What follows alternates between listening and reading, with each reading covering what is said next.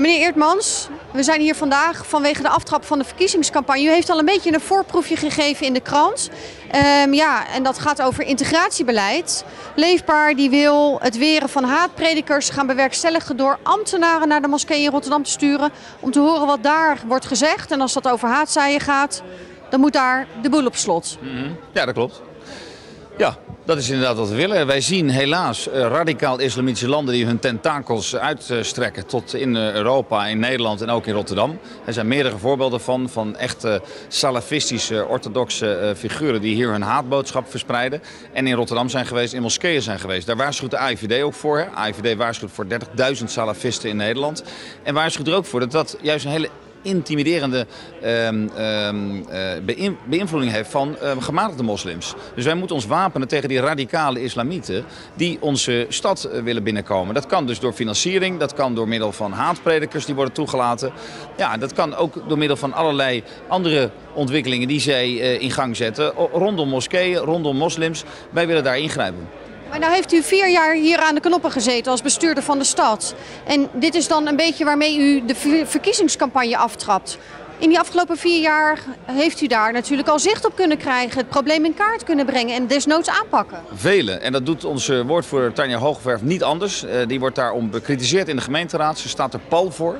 En dat op die manier haat de stad niet in kan. We hebben met onze programma's, met uh, onszelf, de burgemeester, heel veel gedaan tegen dat radicalisering. Maar het is niet genoeg. En daarvoor presenteren wij nu een verkiezingsprogramma. Wij willen daar extra uh, energie op zetten. Dus, en ook wat onorthodoxer. Dus op die manier proberen die beïnvloeding in die moskeeën tegen te gaan. Anderen zeggen al, het is haatzaaien, het is PVV-imitatie. Die partij die voelt u misschien ook wel een beetje in de nek hijgen. Uh, het probleem is helemaal niet zo groot, want de moskeeën in Rotterdam die willen zelf ook helemaal geen haatpredikers hier hebben. Als er niks aan de hand is, dan is, dat, is er niks aan de hand. Laten we er gewoon eens naar luisteren. Daar moet volgens mij een open oor voor zijn. U gaat er wel mee de bühne op. Ja, maar gebedshuizen staan open voor iedereen. Dus volgens mij mag iedereen daar binnenkomen. Het lijkt me goed om eens mee te, mee te luisteren.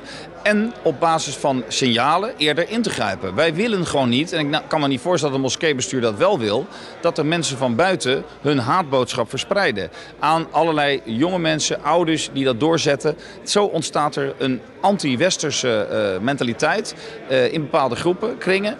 Uh, binnen de moslimgemeenschap die heel erg uh, funest is. Heeft u daar voorbeelden van dat dat nu al speelt bij de Rotterdamse moskeeën? Ja, we zien het. Iman Gali noemde ik al. Ik uh, heb het over ANSB gehad, Jawad A. Het zijn allemaal van de, deze figuren die zich in de stad hebben opgehouden. Terreurverdachten die in Rotterdam zijn opgepakt. Die proberen natuurlijk niets anders dan hun idiotie op te leggen, over te brengen aan jonge moslims. Zijn dat allemaal voorbeelden dat, dat, dat die twee arrestaties van moslim-extremisten...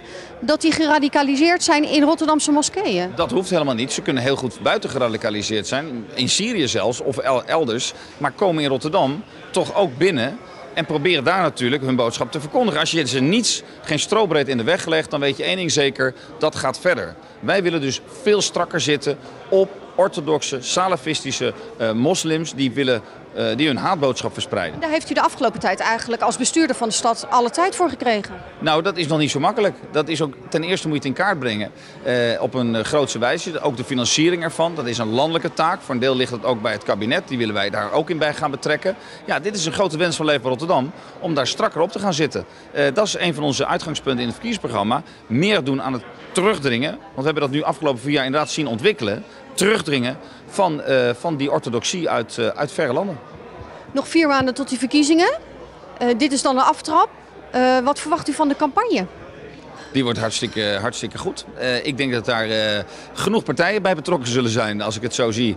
Uh, met heel verschillende meningen. Ik denk dat Rotterdammers heel goed kunnen gaan kiezen. En waar zij het vertrouwen in uitspreken en ook wat zij, waar zij bij passen. Heel simpel.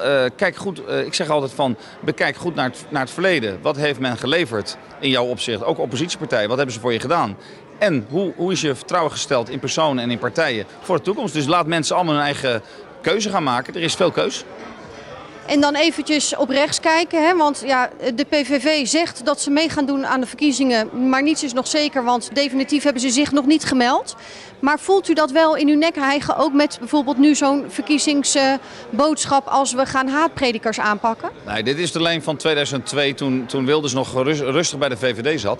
Toen was Pim Fortuyn de man die vermoord werd, helaas, en dit al uitsprak. Dus wij zijn met Leven Rotterdam in de traditie van Pim Fortuyn die weg opgegaan. Integratie, het afremmen van immigratie en veiligheid. Dat zijn onze hoofdthema's, dat zijn onze kernthema's. Ik sprak over de Holy Six eh, die we hebben neergezet. Daar hebben we niemand anders bij nodig. Mensen weten, Leven Rotterdam is alleen voor Rotterdammers. Is hier ontstaan. Wij kennen de straten door en door. Wij weten wat, wat er leeft. Eh, dat is ons verhaal. En dat is een eigen verhaal. En het is heel eenvoudig. Of we gaan naar een linksblok na de verkiezingen. Met alles wat Fortuyn eigenlijk heeft opgebouwd, dat dan weer verdwijnt.